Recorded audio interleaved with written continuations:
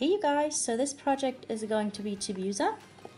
And for that project you're going to need some flesh colored clay, then some white clay, some red clay, I'm using Indian red, and of course some pink clay. And I got this by mixing equal parts of one of the new rose quartz colors. I think it is called I know it's called light pink. Sorry, it's the number 205, and also uh, raspberry.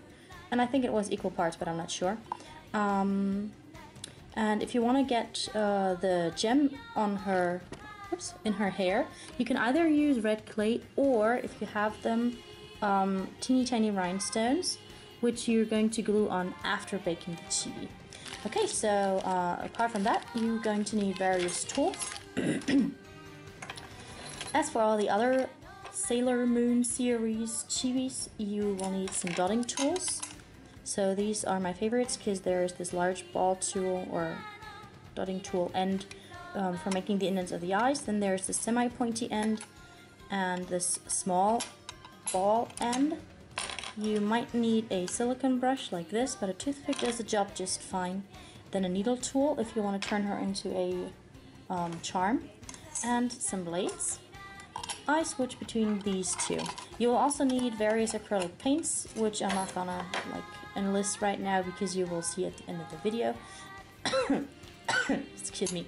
And then uh, you might need, if you don't want to like make her eyes in clay, uh, you will also need, um, or I'm using this pen which is waterproof and very thin. Okay, I hope that was everything, so let's get started. For the head you want to start out with a conditioned ball of flesh colored clay and then make an indent for the forehead using one of your tools and also two indents down the sides to form a nose. Then use your fingers to smooth everything out. Remember, a little goes a long way. You can also pinch the clay to make the nose more prominent.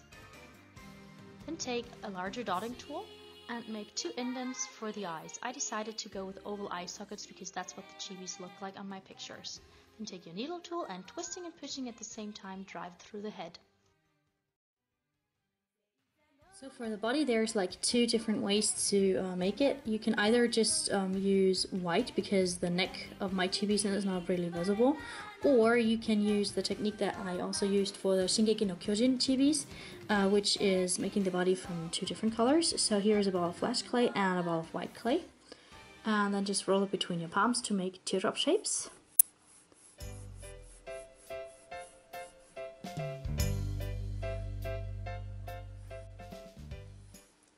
Make sure that the teardrop shapes are small enough for the body and then cut each of them in half.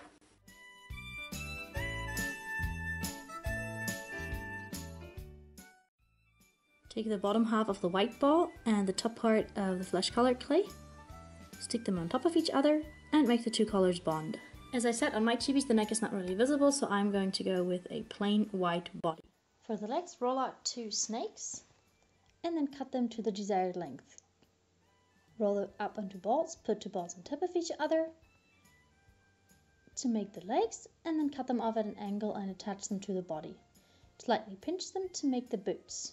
Then get out your needle tool and twisting and pushing at the same time drive through the body to pre-poke a hole. Then slide in your head pin, put the feet together and then bake the head and the body. Next, get out a thin strip of white clay. I already have the script prepared, so check out Sailor Moon's video if you want to know how to make this one. And then wrap that around the baked body and bond it. Then get out a two-colored strip of clay and wrap it around like so, so that you can see her bodice or whatever it is called. Then get out a thin strip of pink clay and make two indents with the dull end of your blade. Wrap that strip around Chibiusa's arms to make her cuffs. Smooth everything out and then pinch the arm a little bit to make a little hand. Attach the two arms to the body and then we can go on to make the collar. For that, get out a triangle that you cut down to the center and attach it like so. Next up is the bow. So prepare a strip of red clay, cut it and smooth everything out like shown. Then pinch roll a ball of pink clay between two fingers, make an indent with the dull end of your blade, and then squish that to make a teeny light little heart for the center of the bow. You want to apply the elongated triangle shapes first because that's the ribbon that dangles down from the bow. Then attach the bow and make sure that it's bonded. Also make one for the back side. Bake the body and then get out a thin sheet of pink clay for to use as hair. Wrap it around the baked head, cut off any excess clay and smooth out everything with your fingers.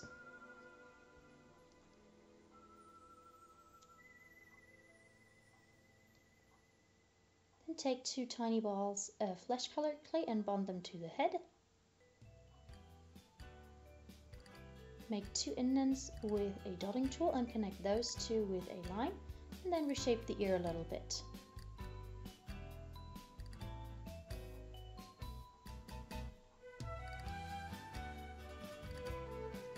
Next, cut out her bangs.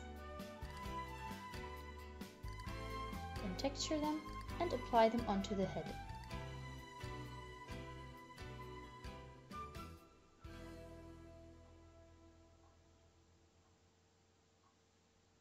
I use my blending brush for that, but you can also use a toothpick.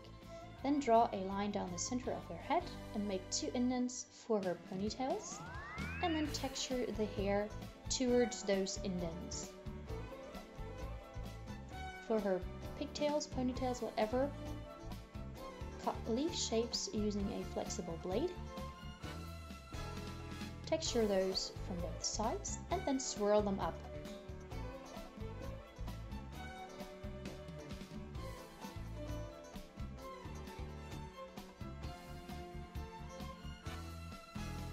It depends on your preference how many uh, of those swirly thingies you want to use for each pigtail.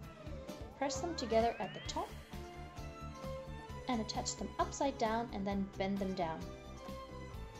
For the little buns, I pinch roll a ball of pink clay between two fingers from both sides to get a diamond-like shape.